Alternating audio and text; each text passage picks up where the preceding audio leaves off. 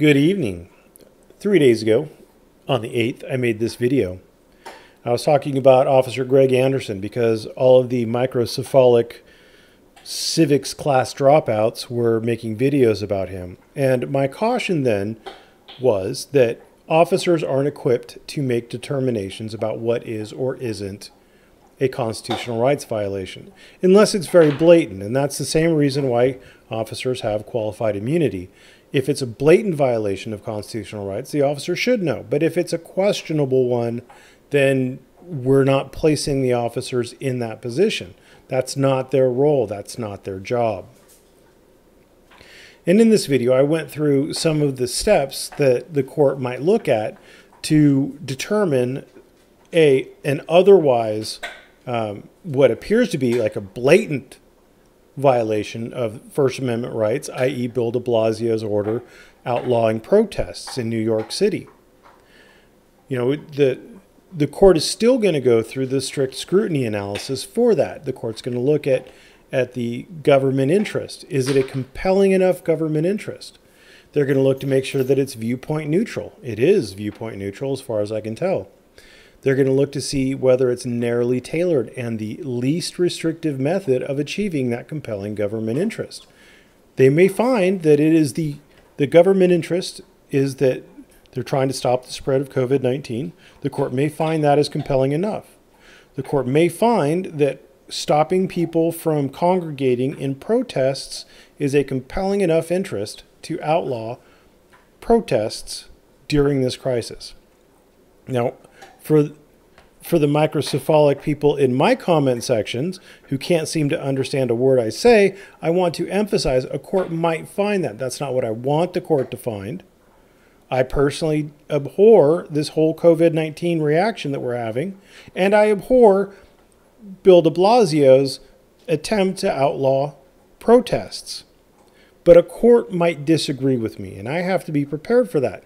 Now, I have gone through law school and I've passed the bar exam, and I've been a practicing attorney now for at least a full year, and I can't tell you which way a court's going to go on it.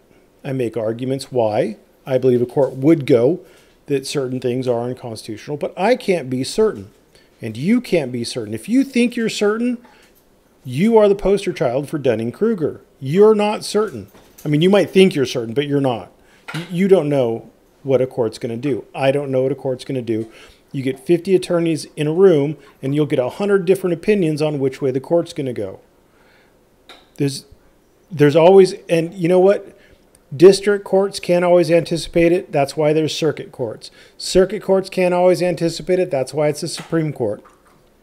And sometimes subsequent Supreme Courts will overturn previous Supreme Courts. So you just can't know. So today, these dunderheads all presumably uh, film these and monetize them I don't know. I'm not going to uh, watch without ad blocker on. And they, of course, are going to jump immediately to conspiracy theories about this is a good cop and what he says is good. And it's all, all because, you know, bad cops are in control and they're trying to take away your freedoms, right? Well, here's the video, and I can play it here because, thank God, uh, it's not entirely um, copy protected on this part, so Earl can't strike me. But I actually don't think I'm going to play it. Here at 551, the link will be in the description, but here at 551, you can play it for yourself. And he believes, you know, that the Constitution is the uh, supreme law of the land. And you know what? He is correct. He's right. And I agree with him on that point. And he goes on to cite Marbury versus Madison. This is uh, Marbury versus Madison. And he goes on to cite it for uh, the for the Supreme Court holding that it is the supreme law of the land. And he is right. It is the supreme law of the land. Um, the Constitution is superior to any ordinary act of the legislature. The Constitution, not such ordinary act, must govern the case to which they both apply. That right there. That right there.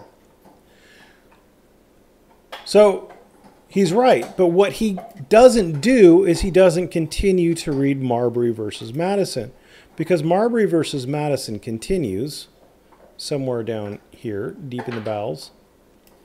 It also says that if you want to read it, again, the link will be in the description. This is also up in the uh, in the syllabus section, right above what we just read. Uh, it is emphatically the duty of the judicial department to say what the law is, so you don't have to go all the way down here. But I'm just showing you that this is actual text of the case, not a syllabus, which is not text of the case.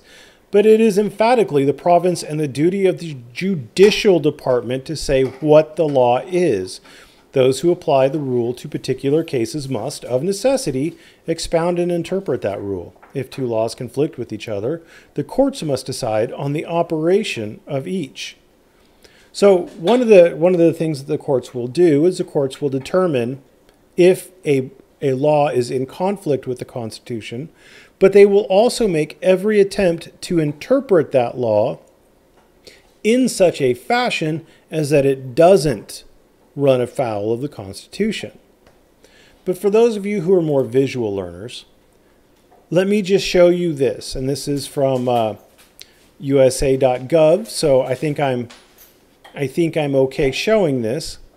Uh, but this is the executive branch right here. You can see all three branches are under the Constitution, which provided the separation of power. But the executive branch is the enforcement. They carry out the laws, they enforce the law. And down here, underneath the cabinet, down here would be the police.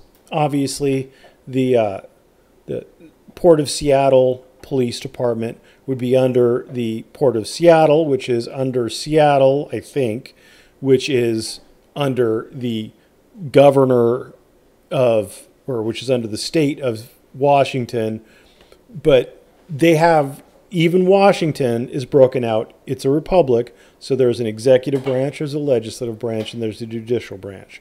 This is the same for every state.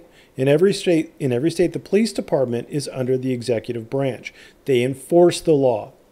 Now, if you look over here, this is the judicial department. They interpret the law. State courts are in here too. The lowest state court, well, at least in California, your state may vary. The lowest state court can overturn the governor. They can say, no, governor, your order is unconstitutional for the California Constitution. It's unconstitutional for the federal Constitution, whichever Constitution it's run afoul of. They may even say, no, Governor, your order is running afoul of the legislation, the current legislation on the books. Your order is contradictory to that legislation, and therefore the legislation, not your order, is the law, is what we're going to operate under. That is the function of the judiciary branch. So that's why that's why this cop is in a bad position. He is saying to other officers to use their judgment to to place themselves in the role of the judiciary to determine whether or not an order given by by their superior is constitutional.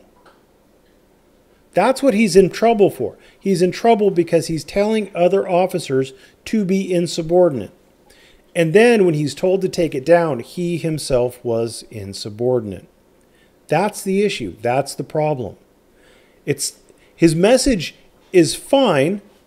We should have we should obey the Constitution. We should follow it until he gets to the point where he has placed himself and other officers in the position of determining what laws are and are not constitutional because that's not his role. And I just want to caution everybody. Everybody thinks that, you know, that they know what constitutional is.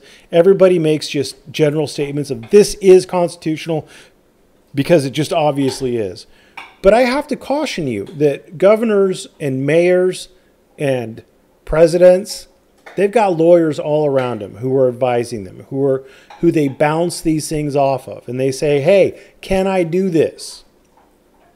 And you get a bunch of junior attorneys rushing down into law libraries or firing up Westlaw on their computers, digging through case law, digging through uh, precedent trying to find out whether or not they can do it. And a lot of times there are no clear answers. You've got this case which says X, this case which says Y. So if you extrapolate from X and Y, you get Z, right? Well, someone else might look at it and say, well, this case says Y and this case says X. So, you know, if you if you subtract it down, you get W. No, it's Z. No, it's W. No, it's Z. No, it's W. And then you have, you know, another attorney with, well, actually, it's J. You know, it, it's again, if you if you got a hundred or fifty different attorneys in a room and you asked them whether or not a specific order from a from a governor was constitutional or not, you'd get a hundred different answers. So that's why he's in trouble. That's why he's getting fired. He was giving given multiple opportunities to withdraw the video. He chose not to do so. You know, you make your bed, you got to stick to it. I, I don't think he's a bad guy. I'm not trying to throw this guy under the bus. I think he believes that these orders are con- unconstitutional. And that's fine. He can believe that. But he can't be insubordinate about it. So thanks for watching. I look forward to the innumerable references to Nazis and Nuremberg trials in my comment section. Uh, your hysteria will be noted. Have a great day.